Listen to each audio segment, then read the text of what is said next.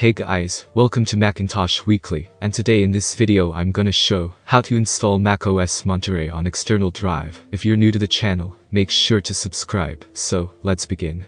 For this purpose, you require macOS Monterey installer. If you don't have it, you can download it from App Store. After downloading, plug your external drive. After the disk appears, open Disk Utility and, here, select the drive, instead of any partition and, erase it with following parameters.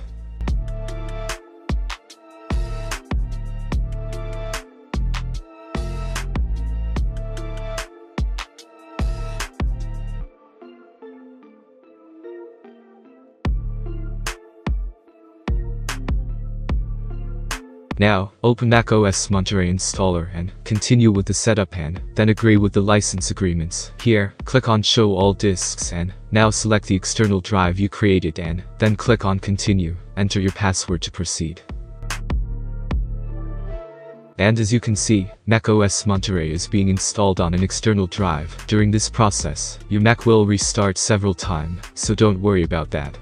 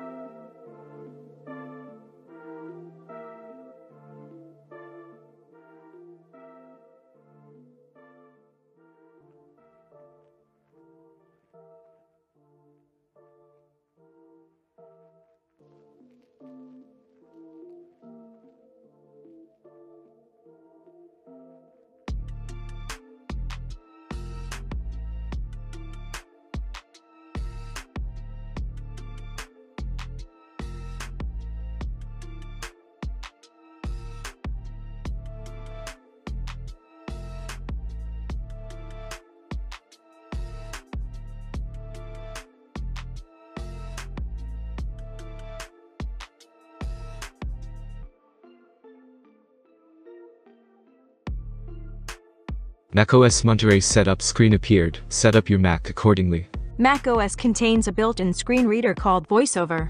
If you know how to use VoiceOver, press Command F5 now to turn it on and set up your Mac. If you would like to learn how to use VoiceOver to set up your Mac, press the Escape key.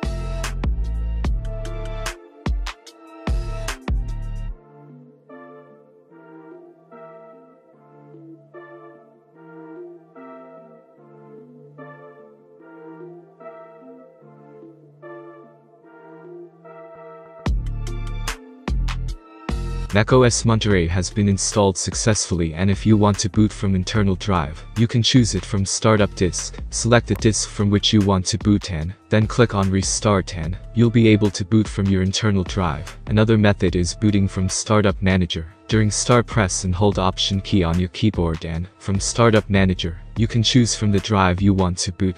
So, that was it, hope it was useful, consider like for the video, subscribe to the channel, and if you have any questions, just comment down below, thanks for watching, and have a great day ahead.